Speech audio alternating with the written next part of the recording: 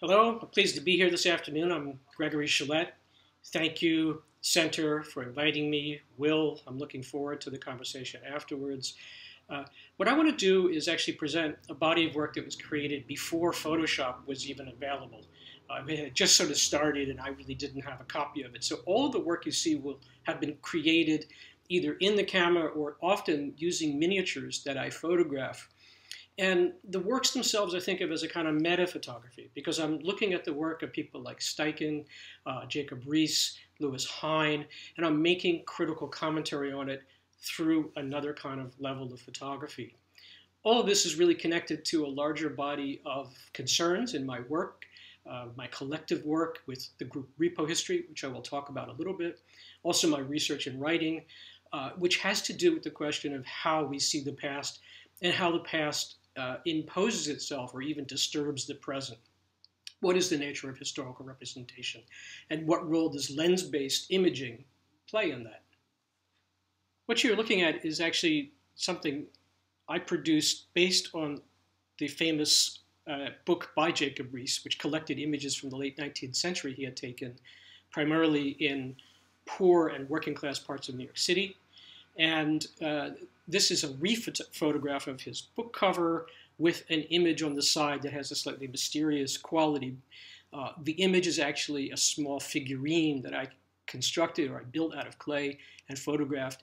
In fact, all of these initial images I'm going to show you have to do with reimagining a particular Jacob Riis photograph using miniatures for the most part, rephotographing them and printing them as Cibachrome prints.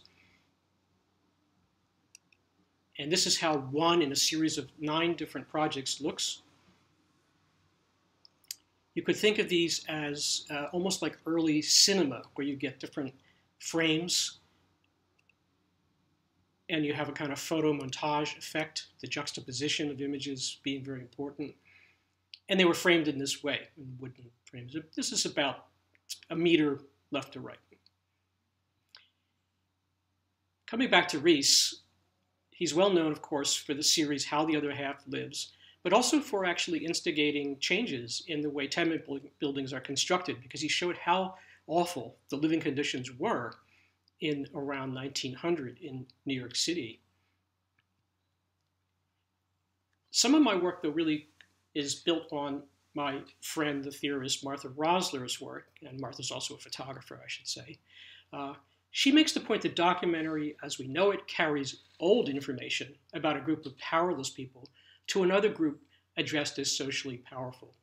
And her important critique in, around, and afterthoughts on documentary photography really lays out a sort of deep questioning of people like Jacob Riis, who, however well intentioned and however important they, they were in terms of reforms, nevertheless played a kind of voyeuristic role in the way he treated his uh, subjects, really kind of turning them into almost kind of an ob object uh, uh, for the camera.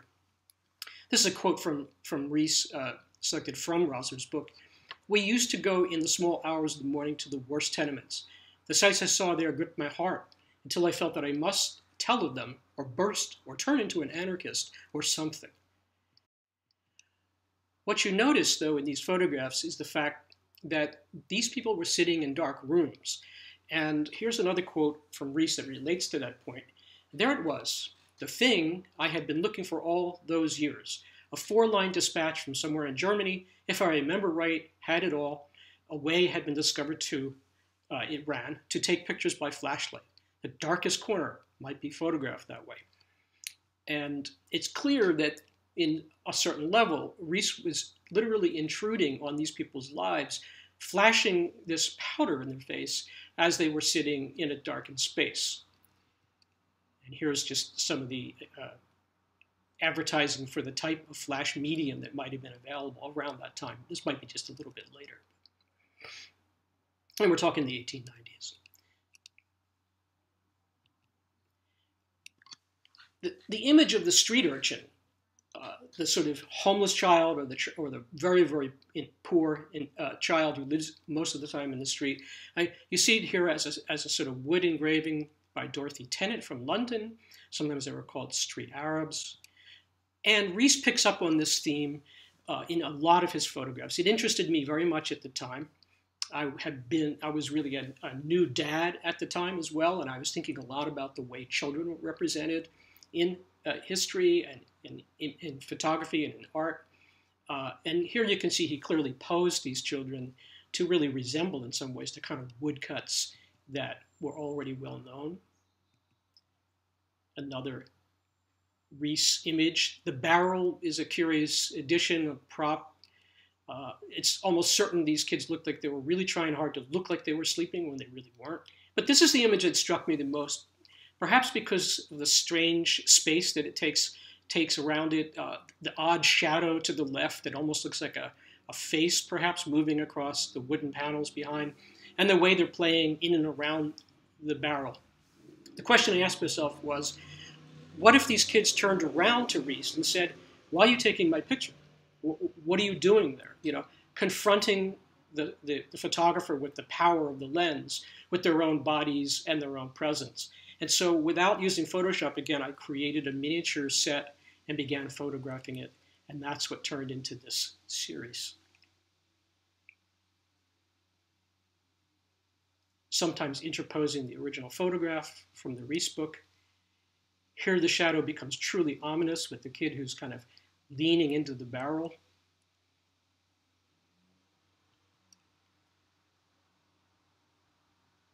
And again, we're not sure if this is being voyeuristic or someone's confronting us. Is Riis perhaps backing up, afraid? Maybe. And just to give a sense of the model reconstructed as a little tableau.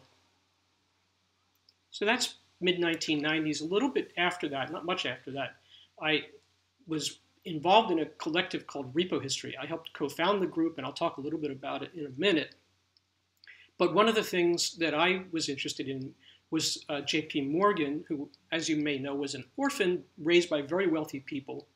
And this is a portrait a well-known portrait of Morgan by Steichen that Morgan really hated because the armchair that he was sitting in with its reflective surface looks like he's got a dagger and he's pointing it at the photographer. Ultimately, this is the project that I created as part of Repo History's work. And Repo History was a group of artists and activists and educators, and we put street signs up in lower Manhattan and also other cities uh, where we talked about the specific site and histories that people really didn't know much about at that site or had been forgotten or in some ways uh, completely repressed. So Exchange Place, which is down near Wall Street, is the location of this sign, which takes as its source J.P. Morgan. But what's the story? As it turns out, Morgan, as a young man, clearly not in this picture where he's photographed by Steichen as an old man, but as a young man, he would have been uh, available to be drafted into the Civil War.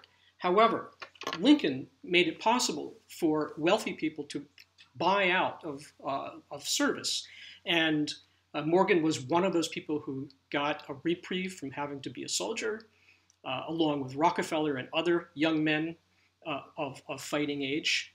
And the, the peculiar thing, though, is that while Morgan had a second, because the money that was paid actually paid for another soldier to be in service, well, he had a second battling it out against the South, the Confederacy. Morgan and other wealthy individuals were speculating against the North in a place called the Gold Room in lower Manhattan, right near where the sign is located. It was an old coal chute where men would go. They would wait for dispatches from the front, and if the South was winning, they would become jubilant because the price of gold would go up and their wealth would go up. And if the price, if, if the South lost, they would stand on tables and sing John Brown's Body uh, because they had clearly lost a lot of money. So I thought this was incredibly ironic and worth pointing out to the public, and that's how the project, and here you see, these are clay reconstructions of the Morgan photograph and then who his second might have been. And the, the, the uh, sign basically asks, who might he have been? A young Irishman, a young German? We'll never know. Just add the last note to the story. Morgan's uh, second did survive the war, and he paid that individual money uh, for a very long time, or maybe the rest of his life. Uh, we don't know if he was injured. No one knows who the man was. Just to give you a little bit sense of repo history, repo history was a project, as I said, that put signs up in the street, and it takes its name from Repo Man, the movie, which I recommend watching. And we put signs up about people who had died homeless in the streets. We talked about an unregulated free market economy. This is directly outside of the stock exchange. They didn't like that very much, but we had a permit to put it up for one year. And even though they tried to take it down, we kept it up. The first firefighter, who was a woman, Brenda Berkman, created, uh, Susan Shupley created the sign about her. Tess Timoney and Mark O'Brien made a sign about the slave and meal market on lower Manhattan. It was on Wall Street, by the way. Uh, the death of many young people of color by police who were never litigated, Jenny Polak, David Thorne. From 1994 to 96, 75 people were killed, shot in back, shot in head, pinned face down, and shot, choked, hogtied, and crushed, beaten to death by New York City police officers. Only one was ever charged and didn't receive any kind of litigation uh, in, in this entire time. Now, this is 1998, uh, by the way. Alan Michelson talking about the, the exploitation of uh, Native people by Jacob uh, Astor. Alan is a very interesting Mohawk artist. And Tom Klem and James Malone, who did a piece about the African Americans who were displaced in Georgia, uh, in Atlanta, to make way for the New South, so called urban renewal. And this is a picture of Malone's mother that he carried around at all times, turned into a sign. Or Jane Pagliuca, whose grandmother never made it off Ellis Island. People don't realize people went there and were sometimes considered unfit, and she was buried in a potter's field, uh, just as so many people today are being buried here in a potter's field because of the COVID. Uh, this, sign, this project went up in 1992. It was a, meant to counter the Columbus quincentennial because people were celebrating Columbus and we were criticizing Columbus. This sign, particular one by Pagliuca, was right near Ellis Island. So people taking the ferry would see this sign. And on the back of the signs was an explanation of these histories that I'm telling you. And here is, uh, again, James, Jim uh, Costanzo's sign, Advantages of an Unregulated Free Market Economy. It turned out that the stock exchange was actually having its anniversary, and they were very upset about this sign and asked it to be taken down. And again, it didn't happen because we had a permit. And I'm just about out of time. Uh, I did want to say that all of the repo history signs were marked on this map, which people could get free at the time and walk around and do their own tour of all these 60 some locations. And I'll just end on one other project I did about uh, photography at the Tenement Museum here in New York City, which sadly just closed because of COVID, it seems.